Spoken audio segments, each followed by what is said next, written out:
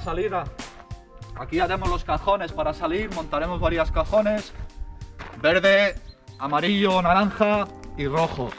El verde saldrá los dos minutos naranja, los dos minutos rojo y tras estos iremos formando diferentes cajones pues para que en dos minutos o en un minuto hay que ir saliendo, hay que tenerlos formados.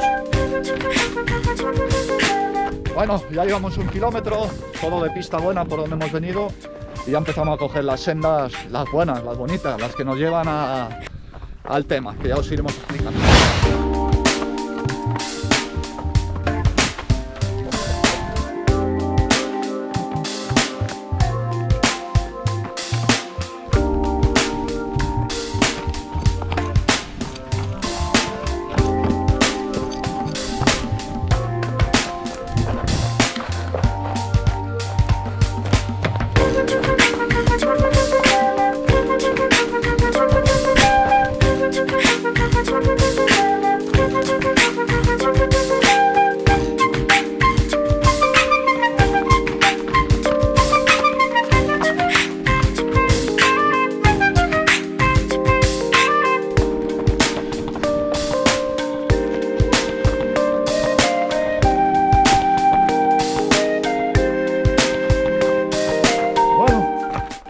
3.900 metros de altitud, mirad lo que nos encontramos.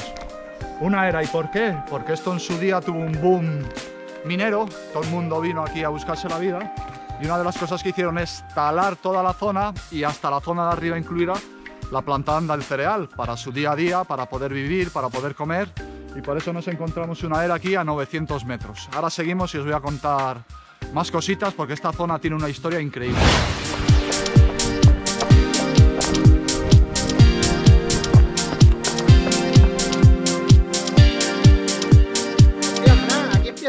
Minas. Cuéntanos algo de las minas estas, ¿no? Pues mira, hasta café con leche a mil metros. Aquí al que le tocase venir a trabajar, pues no lo tenía muy mal. porque ya veremos lo que hay arriba.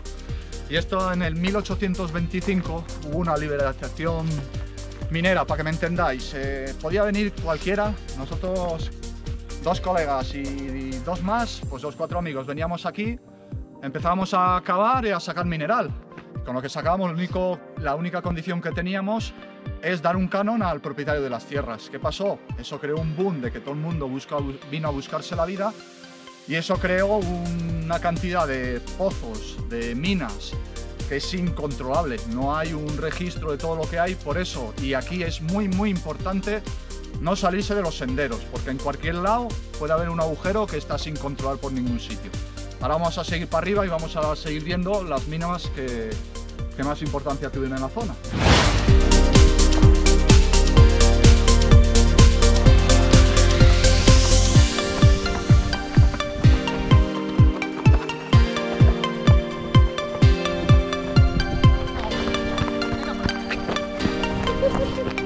Y se despide nuestro compañero, que hoy se va a cascar 6 kilometrazos. De montaña. Bueno, Fran y yo estamos aquí en mitad de la ruta, haciendo la rutica de aquí de las minas de Castala, la parte de Caparidad y toda una zona guapa, guapa.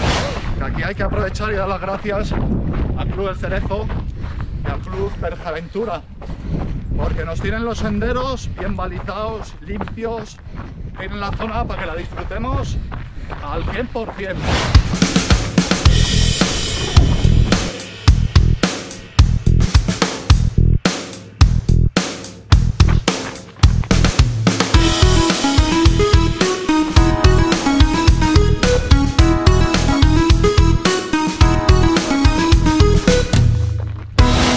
Una zona importante porque tenemos la subida aquí a los lavaderos que podemos subir sobre esta es la 337 pero no.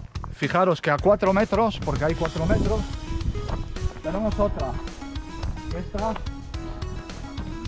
336 y esta nos lleva a Minas de Berja Julio César.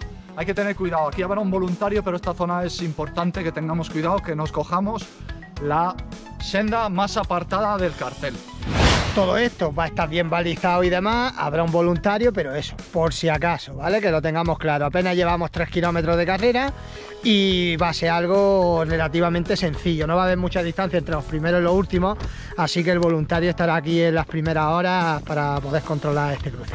Vámonos.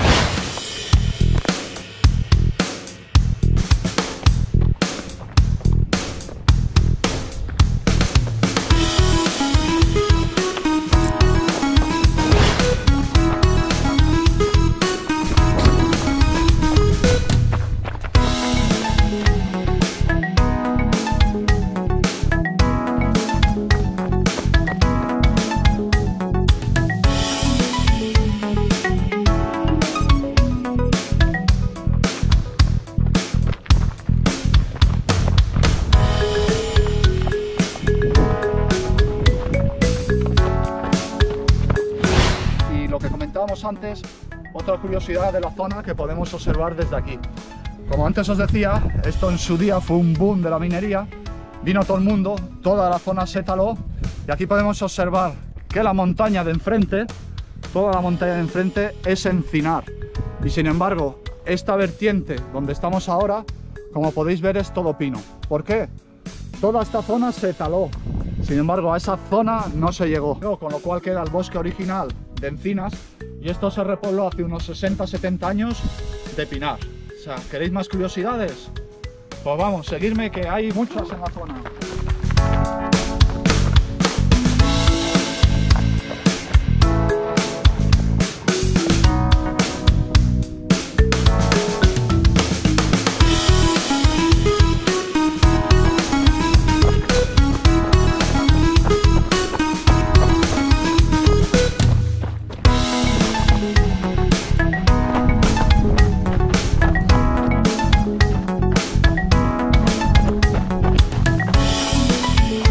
Un cruce importante, ¿no, Fran?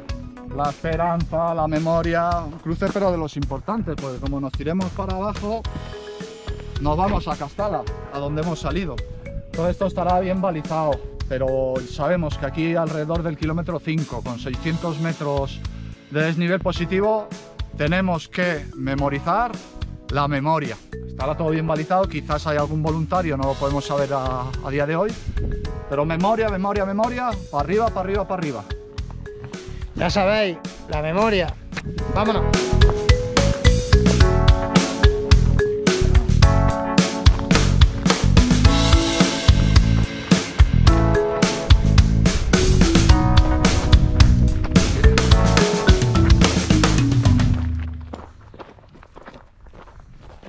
Otro cruce importante. Nosotros tenemos que coger esta dirección que es dirección Mina Benito. No llegaremos a la mina, llegaremos a los lavaderos. Hay que tener cuidado porque las indicaciones pueden dar, nos pueden llevar a un error. Nosotros vamos a los lavaderos, pero no por esta senda, sino que nosotros continuamos por esta, que es la 336. Aquí abajo tenemos la mina memoria, que ya la dejamos ahí para continuar por aquí.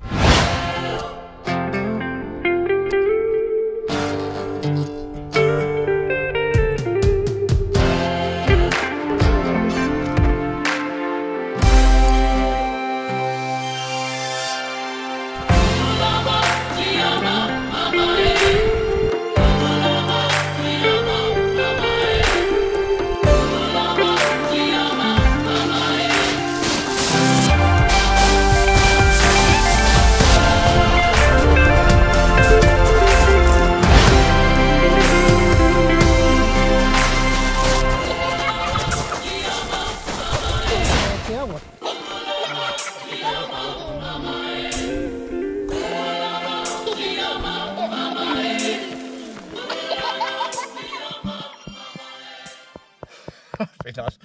Coge la piedra ya, hombre. Pues esto para el ganador. Está fresquita el agua, ¿eh? Está fresquita.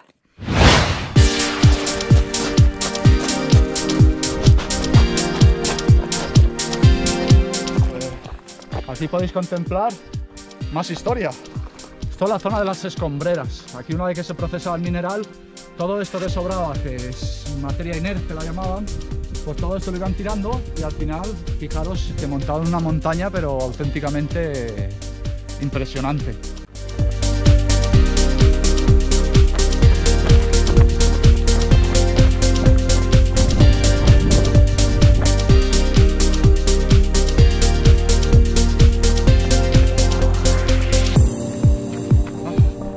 Otro cruce de los importantes.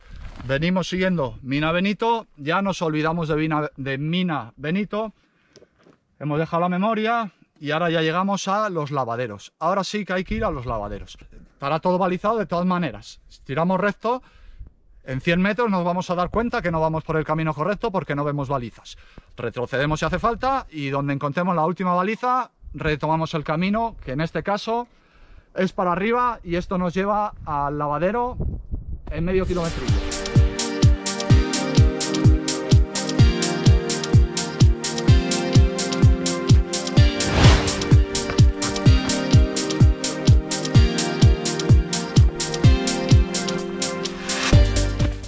Bueno, llegado casi a los lavaderos. Y de aquí pues contaros un poquito más de la historia que estábamos contando. Y como podéis ver esa montaña enorme se llaman las escombreras. Eso después del lavado, del procesado de la piedra, extraían el mineral y esto es el resultado de casi dos años, casi dos siglos. Estamos echando un día más bonito que nada.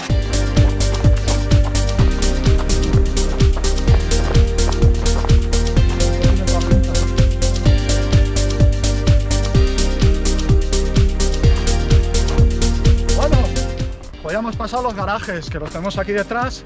A los garajes no tenemos que ir, tenemos que seguir adelante. Hemos acabado, como quien dice, la ruta de las minas de Berja y nos vamos hacia minas de Martos, que también tienen su historia que ahora la contamos.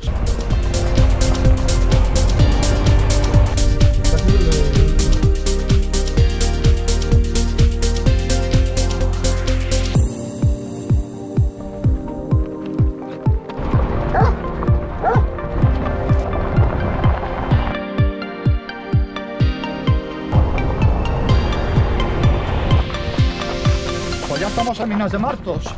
Un poquito más de subida, llegamos al avituallamiento número uno, que hay 14 kilómetros, hay que salir bien cargaditos de agua. Y ahí enganchamos con la ultra para tirarnos al Aujar de Andarás.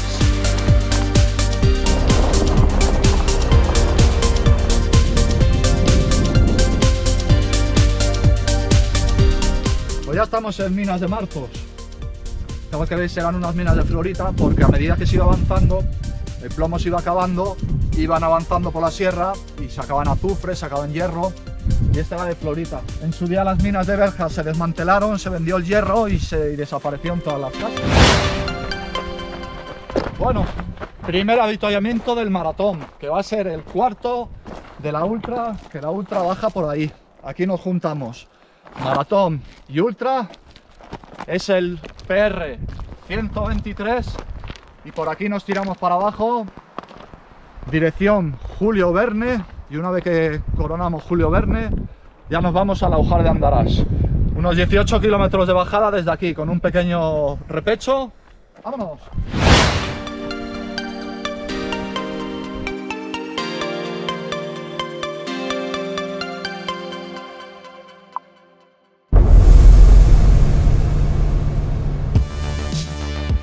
Recuerda que la mejor manera de apoyarnos es suscribiéndote al canal y compartiendo este pedazo de vídeo y si quieres puedes comprar nuestro libro Motivación y Rendimiento Deportivo para alcanzar todos tus objetivos y recuerda las carreras hay que ir entrenado.